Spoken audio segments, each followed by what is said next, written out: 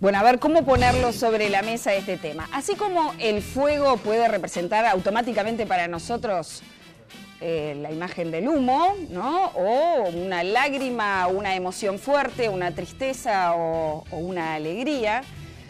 Cada gesto se convierte en un signo a nivel individual y a nivel social. Por eso es que es un gusto para nosotros recibir esta mañana a Fernando Andach. Bienvenido. Muchas gracias. Fernando Andach es semiólogo. Su especialidad es semiótica de la comunicación, de la sociedad y de la cultura. Y lo llamamos básicamente por algo muy simple. Queremos saber. Queremos saber cuáles son los gestos fundamentales y los signos que nos dejó esta campaña. Y esto a raíz de este libro que ya lo tengo todo rayado.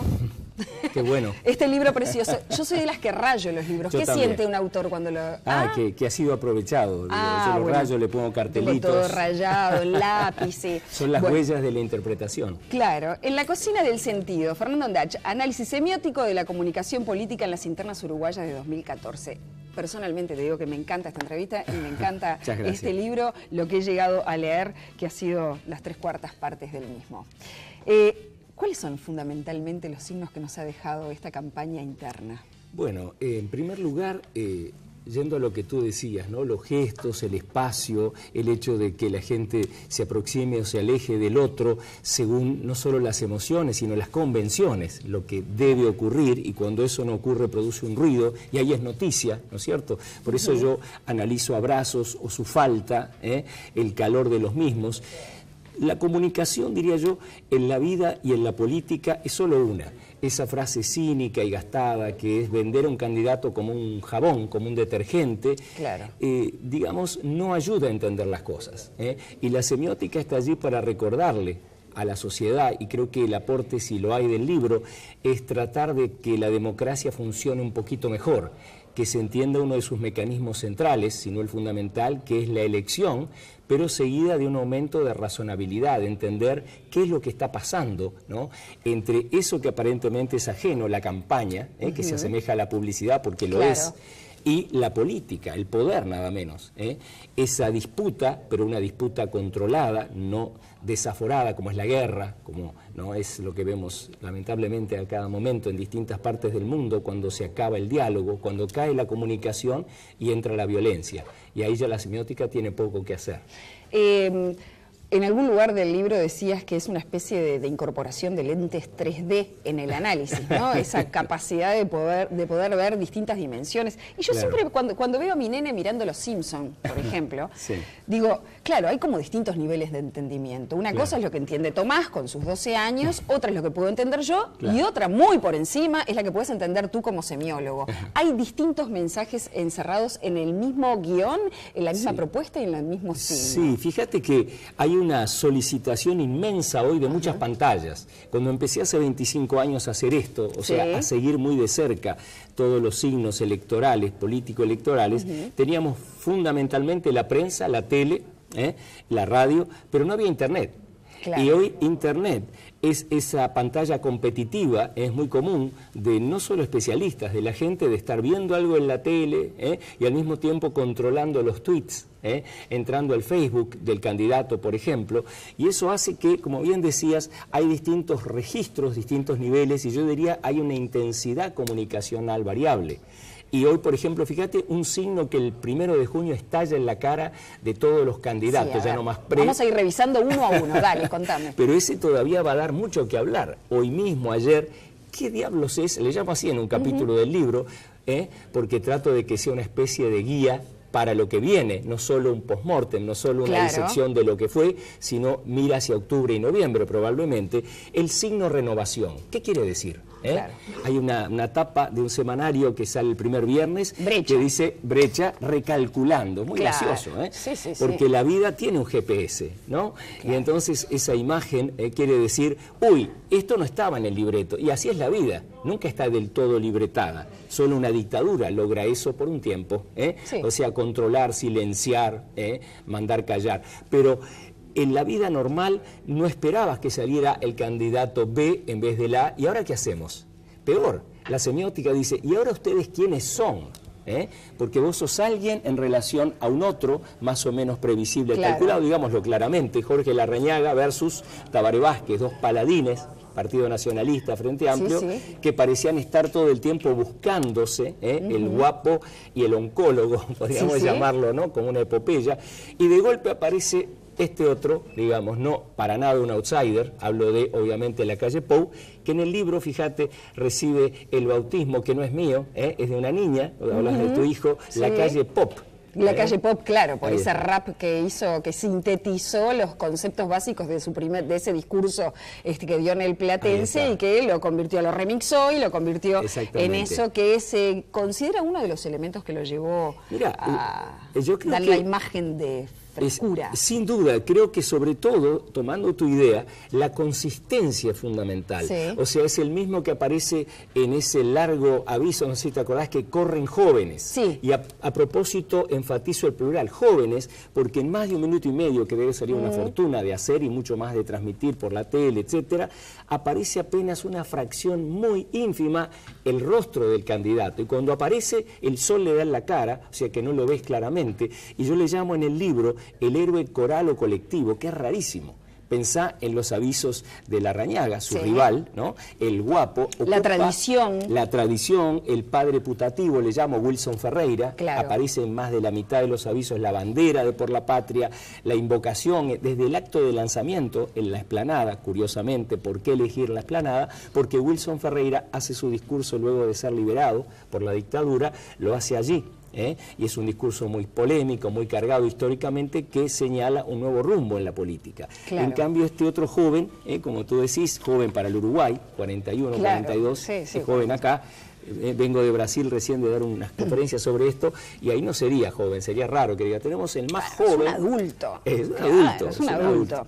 Bueno, el hombre del somos hoy, somos ahora, el el candidato pop, como, como le querías, este, de alguna manera desconcertó. Desconcertó post el eh, primero de junio, recién decía, bueno, este libro está bien, este, también intenta proyectar qué es lo que puede pasar de aquí en adelante, este, cuáles son las carencias que tuvo y de qué va a constar o no constar esta campaña hacia las elecciones nacionales, pero la calle Pop desconcertó. Desconcertó porque venía caminando y de repente en un hecho que parece casual, hace esto.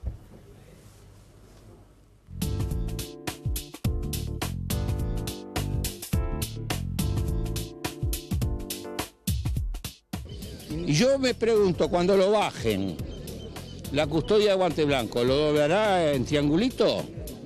Que sería bueno porque lo pueden meter en la guantera de un coche, junto con el Herbalife. El problema es que al amanecer del otro día lo van a tener que planchar.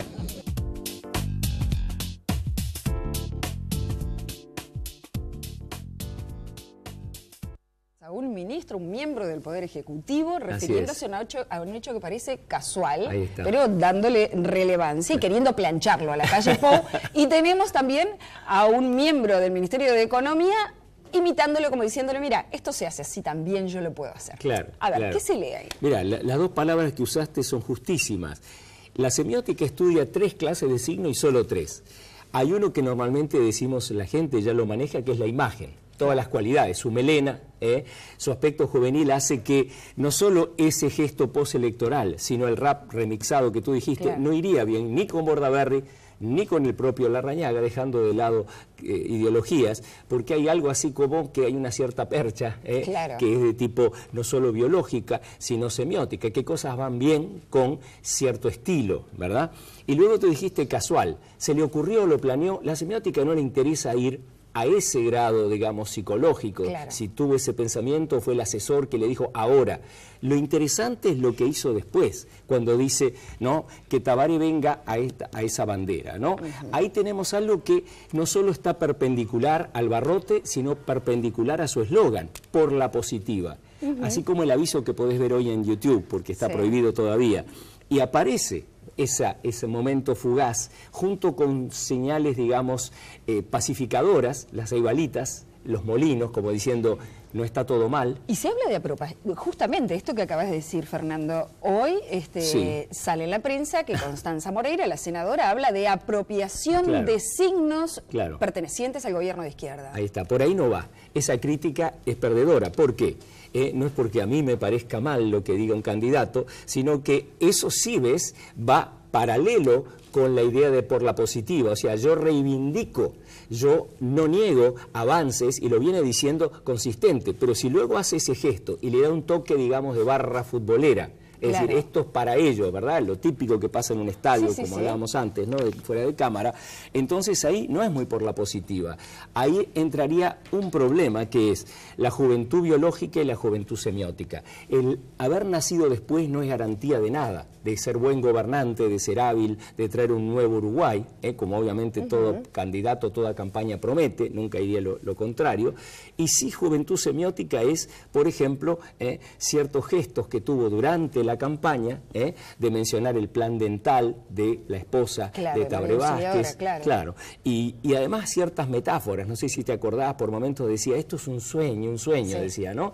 Cosas que no se atrevería a ser un candidato más tradicional, y todo el acto en la Casa del Partido Nacional. Ese es un punto muy especial. Él habla de sentimientos. Lo primero que hace es expresar, expresar lo que siente, cosa que no hacen los otros candidatos que hablan como hombre de partido. Claro, claro. Incluso la noche del Partido Colorado yo le dedico un análisis. ¿Te acuerdas que Bordaberry se manda un gesto un poco insólito, inaudito, que es en Castillo Rocha, coincide, eh, ya enseguida alguien suspicaz dirá, coincide o fue adrede, no me importa, lo que ve la gente en la tele es mi evidencia, y entra, no solo entra al lugar donde, local donde está Tabaré Vázquez dando un discurso electoral, sino que se hace notar, el otro lo tiene que saludar porque no lo puede ningunear allí, y ahí se dan un abrazo. Y yo digo, pensá que diferente si Bordaberry hubiese dicho, yo le daría un abrazo a Vázquez. Claro. Es muy distinto ir y, dárselo, porque ahí entran en articulación los cuerpos y ese es siempre, como tú decías, un hecho y es algo más o menos inesperado. ¿eh? ¿Y cómo salen de eso?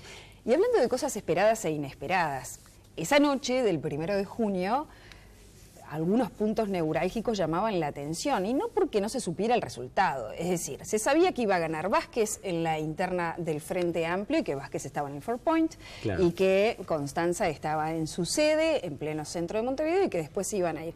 Se convierte el saludo, ese abrazo eh, final o ese saludo en la gran sorpresa. Cuando Constanza dice, y bueno, después veremos si nos vamos a dar un abrazo o qué, ¿O qué? Ahí, queda planteada como la gran incógnita, como que fuera la única gran incógnita que había en esa, en esa jornada, ¿no? Claro, la, la mirada mediática y normal informativa se centra obviamente en una carrera reñida, apretada. ¿Quién gana? ¿La Rañaga o la calle Po? Por una cabeza, por una nariz.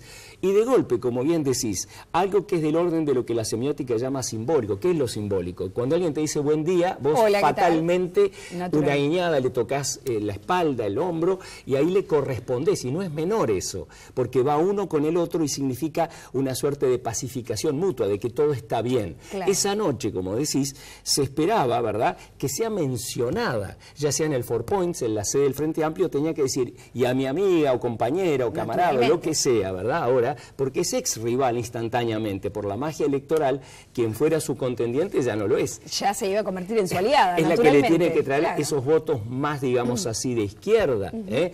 más de reivindicación de nuevos derechos, etcétera, y brilla por su ausencia, como dice el hermoso dicho español antiguo, ¿verdad?, tanto en el hotel como en la sede y luego ese abrazo... No la nombra. No la nombra. Y además cuando llega a la sede del Frente Amplio empieza a hacer su discurso sin que hubiese llegado Constanza. ¿Cómo se lee eso, Fernando? No le da un lugar. Creo que ahí lo simbólico, que es previsible y hasta aburrido, mm. como cuando los periodistas tienen que decir durante todo ese día primero de junio, aquí está todo tranquilo, es obvio. estamos, no estamos esperando que pase nada feo, ¿verdad? Por suerte tenemos democracia y buena.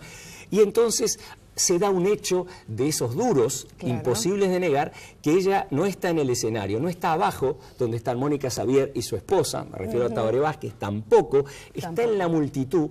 Y en la tapa de brecha hay un abrazo que para un extranjero sería, qué afectivo, se están tocando la cara, incluso, las manos, pero yo pude escuchar un audio de una periodista que casualmente estaba allí y casi no se oye nada por el ruido, no era el lugar para ese abrazo. Entonces, ¿qué pasó? Los simbólico, que es lo emblemático, el momento de tener la altura de ser un buen ganador, que es fácil, se convierte en un mal ganador porque no le da el abrazo donde debería y ahí entonces en vez de lo simbólico sale el síntoma. Algo está mal, algo ahí que no, no ¿Decís cuaja. que eso dejó traslucir una molestia Eh, yo creo que del sí. doctor Vázquez? Yo creo que sí, no hay otra forma de explicar. Alguien que no podés llamar outsider, desde que fue intendente, luego fue presidente, no es poca cosa, Claro. ya no podés asignarle una falta de información. Y ese Vázquez es el mismo que este Vázquez. A ver.